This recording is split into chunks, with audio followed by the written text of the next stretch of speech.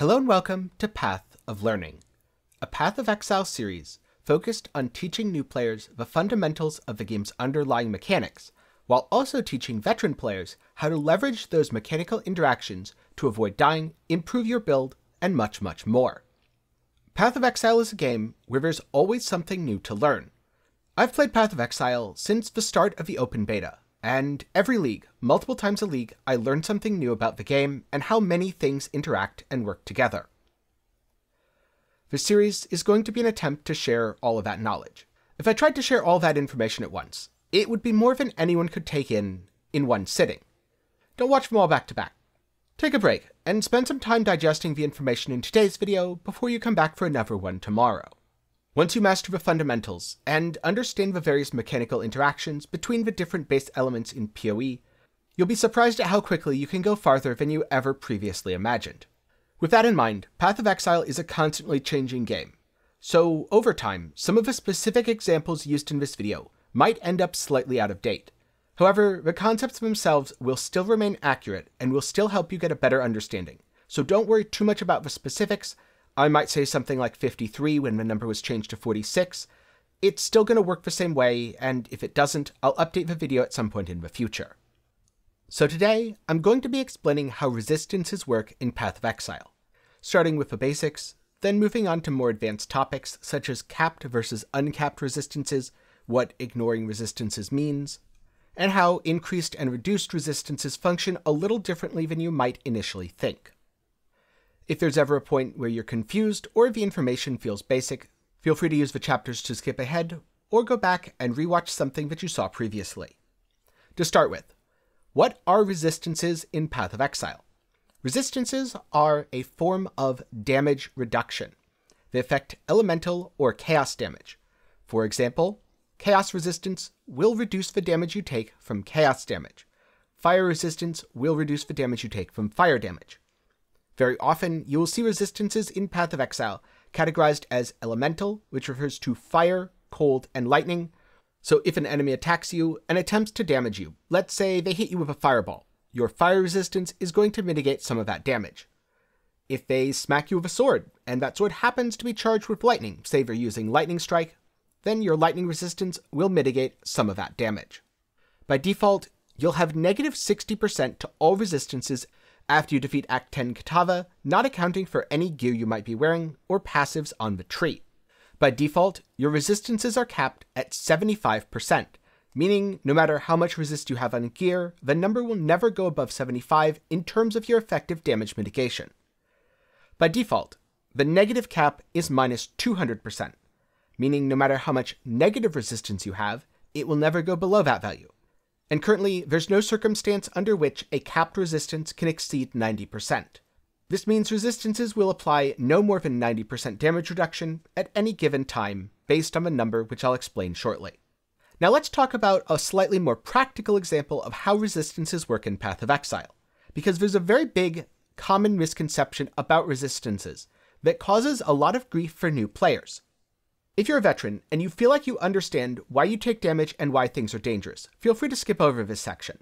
However, if you're a new player and you're sometimes wondering, why did I die to this enemy but not that enemy, this might help explain it.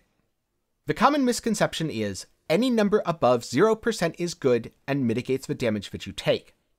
However, when GGG balances content, they do so assuming that you have capped resistances. In other words, that the number is 75%. So the way you have to think about it is any resistance which is below 75% is causing you to take more damage than intended, and any resistance that is above 75%, ignoring uncapped resistances, is causing you to take less than intended damage. Let's go back to that fireball example earlier. If an enemy hits you with a fireball, and GGG intends for you to take 1000 damage, the fireball will deal 4000 fire damage. So if you have 50% fire res, you'll take 2000 damage, or twice the intended damage. And this could very well be lethal, especially if you're taking multiple hits in rapid succession, or if it's a boss ability that hits much, much harder. On the other hand, if you have 90% fire resistance, which could be obtained by getting increased maximum fire resistance or increased maximum elemental resistances, then you would take 400 fire damage, which is 40% of the expected damage and very likely to be trivial. A couple times now, I've mentioned capped versus uncapped. Capped resistance is by default 75. Uncapped resistance is the total value of resistances on all your items from your tree and from any additional sources like auras. So if you have 50% fire res, and you put on a pair of boots that have 40% fire res, you go up to 90% fire res. However, your cap is still 75, so in terms of mitigating damage, you only have 75% fire res. The reason that this is an important distinction is if you're cursed with elemental weakness, that will reduce your fire resistance. It reduces fire, cold, and lightning. Therefore, if you only had 75% and 75%, you might get reduced below 75 and not fully mitigate damage. But because you have 90, if an elemental weakness curse reduces your resistances by 10%, you're still capped and you still take intended damage. There are also certain items, such as Choir of the Storm or the Formless Inferno, which specify the wording uncapped resistances. What this means is the effect on the item would change based on whether or not you had 100% or 200% resistance, regardless of what amount of that resistance is actually mitigating damage. Capped resistances, on the other hand, start at 75 and can be increased with the maximum resistance stat. The word maximum here is used to denote the fact that it's modifying the cap, not modifying the resistance on your character. If you have 90% fire res, and you gain plus 2% to maximum fire resistance, you will still only have 90% fire res. But now, 77% fire resistance is applied to incoming damage, which means you'll mitigate roughly 8% more fire damage than you would before. So, how do you get resistances in Path of Exile? The most common source is suffixes on gear.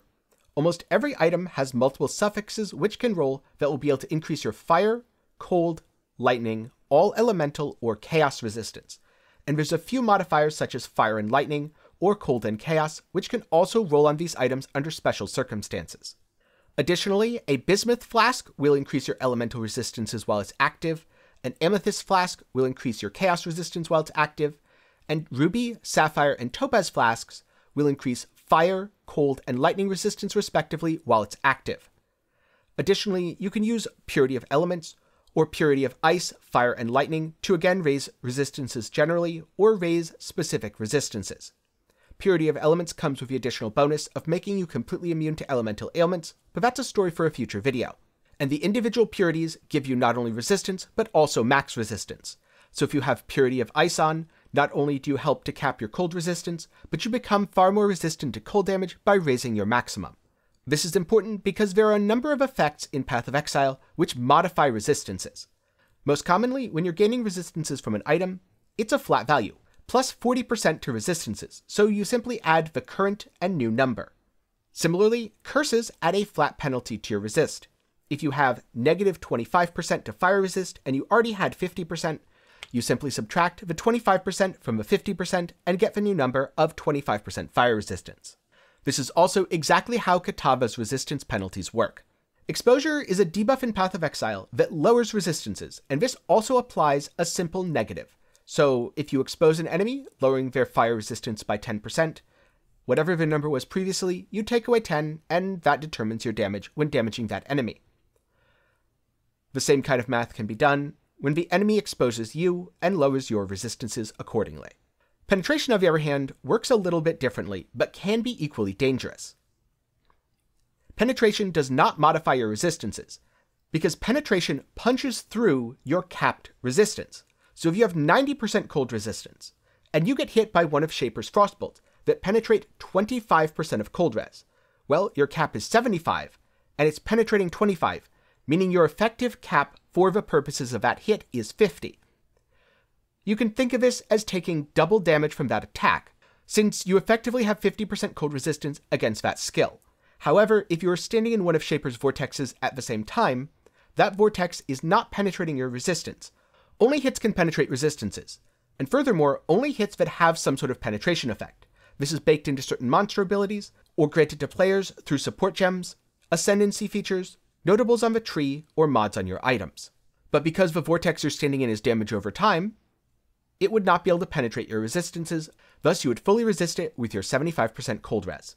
Now, for the rest of the video, I'm going to be talking about some more advanced topics. These are going to be primarily aimed at veteran players. However, if you're new here, you might still find them to be useful, and as always, feel free to reference them at a future time. Before I do though, a quick reminder that if you found this video to be helpful, please leave a like and suggest it to a friend, especially if you're new to Path of Exile and wondering how things work. Now, a special thanks to my patrons and YouTube channel members. Making a deep dive like this is definitely not easy, and I'm very glad that my channel has gotten to the point where I can dedicate the time and effort to making this while also keeping up with all my other responsibilities. If you want to support and help to make more videos like this possible, you can do so over on Patreon or via YouTube channel membership but a little more about that at the end. For now, let's talk about some important examples of how resistances function in Path of Exile, some exceptions to normal rules, and all sorts of stuff like that. Now, I mentioned earlier that one of the most common ways to get resistances is suffixes on gear, but there are also ways that you can raise your maximum resistance. Raising your maximum resistance is an incredibly effective way to mitigate elemental damage. So Purity of Fire, Ice, and Lightning will all grant you maximum elemental resistances of the matching type. Certain items, such as shields, can roll maximum resistance as a suffix. And it should also be noted that you do get up to plus 3% maximum chaos resist on a shield, it's not just the elemental ones. You also get a lot of options for maximum resistances via Eldritch Implicits. You can roll all maximum resistances or elemental specific resists on your chest piece. You can also roll maximum cold res as an Eldritch Implicit on your gloves, maximum lightning as an Eldritch Implicit on your helmet, and maximum fire as an Eldritch implicit on your boots. For more details about this, look at PoEDB or Craft of Exile. Both will be down in the description below. There are also rare cases where you can completely ignore resistances. For example, if you have a keystone passive Chaos Inoculation, you don't need to worry about Chaos Res, because that keystone says you are immune to Chaos damage. If you are immune to Chaos damage, it doesn't matter if the Chaos hit is 100 or 1 million. You simply won't take damage from it. Another example of this is if you got 100% of cold and lightning damage taken as fire damage, such as through the Tempered by War Keystone. Because you no longer take cold or lightning damage, you don't need cold or lightning resistant. But do be warned, some of these effects will specify from hits, meaning a damage over time effect would bypass that damage shift, thus leaving you vulnerable to potential death. Another interesting case is ignoring resistances. This is an effect that you see, such as on the Inquisitor's Inevitable Judgment, or on the item Eternity Shroud. Ignoring resistances is not the same as lowering or penetrating them. When a resist is ignored, it is treated as zero. You cannot raise it above that, and you cannot lower it below that. It will always be zero, no more, and no less. Increases and reductions to resistances, on the other hand, are a very interesting and somewhat complicated topic. If you're a beginner, this probably doesn't apply to you, unless you're considering playing an Eye of Malice build. But increases and reductions to resistances are something that I've seen trip a lot of people up. An increase to resistances is not a flat change, it's a multiplier. Remember earlier, if I said that you had 50% fire res, and you had minus 10, you then have 40%? Well, let's reframe that example and talk about increased or reduced resistances. It's a multiplier and it also applies regardless of whether or not the number is positive or negative. If you have 100% fire resistance, this would be your uncapped resistance, and you have 50% increased fire resistance, you get 100 times 1.5 or 150% fire resistance. Now, similarly, if you have negative 60% fire res and you have 50% increased, it's negative 60 times 1.5 or negative 90% fire res. You've now found a way to take fire damage even more effectively and reduced resistances are the same but with an inverse multiplier. If you have 100% fire res and 50% reduced fire res, then your fire resistance is 100 times 0.5 or 50%. But if you have negative 60% fire resistance and 50% reduced, you get negative 60 times 0.5 or negative 30% fire resistance. In other words, increases in resistances attempt to move a number farther away from the zero point, whereas reductions in resistances always attempt to bring the number closer to the zero point, and it multiplies against other sources of flat resistances. If there's a stat in PoE that said more or less, this would be an additional multiplier. So let's just say you had 100% fire res and 50% less and 50% reduced. This would be 100 times 0.5 times 0.5, leaving you with 25% fire resistance in the end. This is especially important for players using the Eye of Malice or Doryani's prototype. The Eye of Malice because it increases enemy resistances, which is bad for you if they're positive, but it's good for you if they're already negative. Remember, increases push the number away from the zero point, thus making a negative more negative. It's important for Doryani's prototype because you want your lightning resistance to be as low as possible, ideally at a cap of negative 200%. This way, the enemy's lightning resistance is also negative 200%. And I've seen people in the past take things that reduce their resistances, thinking it would make it more negative. But remember, reductions in resistance bring it closer to the zero point, so it would actually be counterproductive in this case. Once you understand resistances, that can help you understand why certain things are more dangerous. Shaper's Frostbolts, for example, are incredibly deadly because they penetrate 25% of your cold resistance. This effectively lowers your cap by 25%. Remember, penetration acts on the cap, not the uncapped value. Whereas if you have an elemental weakness curse on your map, that lowers your uncapped resistance. If your uncapped resistance is higher than your cap afterwards, you won't take any negatives from the curse. But if it puts your actual resistance below your cap, then you'll start to take more damage than you would have otherwise. Similarly, the map modifier minus percent to maximum player resistances works by lowering your cap, thus causing you to take more damage from all elemental and chaos sources. Understanding the difference between capped and uncapped resistance will also go a long way to understanding why certain enemies are tanky. Much like players, enemies have resistance and they have a resistance cap. So, for example, if an enemy has plus 30% to chaos resistance, if their resistance was already below their cap, it doesn't do anything except make it harder for you to lower their resistance, but you could still penetrate it just as effectively, or of course ignore it. However, if their cap is raised, it will be more difficult to damage them even via penetration, because penetration acts on the cap, and the cap is now higher. Luckily, you can still ignore it, and they won't be able to do anything based on that. It's also important to remember that resistances apply both to hits and damage over time. So fire resistance will help you defend against an enemy's fireball. It will also help you defend against the ignite that fireball inflicted. And further, it might help you prevent yourself from burning to death using Righteous Fire. This is also why, for any build such as Righteous Fire or Death's Oath that damages themselves with their own skill, stacking maximum resistance that matches the type of damage they're taking is incredibly effective. The same is true for a hit based build like Forbidden Rite. And finally, there are sometimes unique effects in Path of Exile, which modify how resistances behave.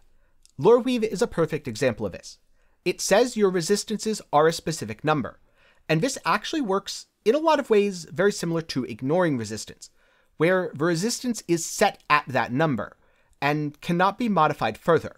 So Loreweave acts on your maximum resistance to set it at a specific number such as 78. What this means is if the map had minus 12% to all resistances, that would be ignored, because Loreweave has said your resistance is 78. Similarly, if you put on Purity of Ice and tried to raise your maximum cold res, that would be ignored as well. Loreweave has said your maximum resistances are 78, therefore they are still 78. The maximum cannot be raised or lowered, however, the uncapped resistance can. So if you have no fire res on gear, even if you're wearing a Loreweave, you're gonna be taking a ton of damage from fire and probably having a bad time. And Melding of the Flesh is another interesting example of an item that acts on your maximum resistances. In the case of melding, what it says is all of your maximum elemental resistances are equal to the highest. So let's say you're using Melding of a Flesh and you have a Leadership's Price Amulet. The Leadership's Price Amulet grants you plus 3 to maximum fire, it grants you no lightning res and minus 3 to max cold. With just Leadership's Price, your maximum fire res would be 78, your maximum lightning would be 75, and your maximum cold would be 72.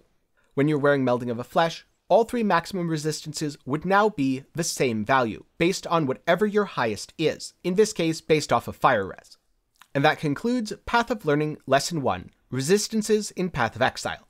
Whether you're a beginner or a veteran player, hopefully you found this helpful. Hopefully it goes a long way to explaining things that you're curious about in regards to resistances. But remember, your learning journey doesn't end here. Not only will there be more episodes in this series, but if you ever have any more questions, I strongly encourage you to look at things like the mod pools over on PoEDB, or to look at the wiki pages. There's a lot more information on the wiki that simply isn't conducive to being included here, such as listing all the items that have resistances on them and how much they have. I mean, I guess I could read out a list like that, but it probably wouldn't be particularly interesting. And so if you're curious what unique helmets have resists, the wiki is a great place to go and might answer some other questions that you have. And so I only have one more question for you. Do you feel like you fully understand resistances now, or are you curious about something else? If so, feel free to ask down in the comments below. A special thanks to my patrons and YouTube channel members. Your support helps keep me independent and allows me to turn down things like sketchy mobile game sponsorships. You can do so for as low as $1 a month over on Patreon, or if you want to support me completely for free, then you can join the community by hopping into my Discord, link below. If you want more content, check out my second channel, Ten Gaming Thoughts. It's a place that I use to review games, ramble my way through video essays, and a lot more. Or of course, you can just click the suggested video in the card right now. I hope you learned something today, and maybe I'll see you again sometime soon.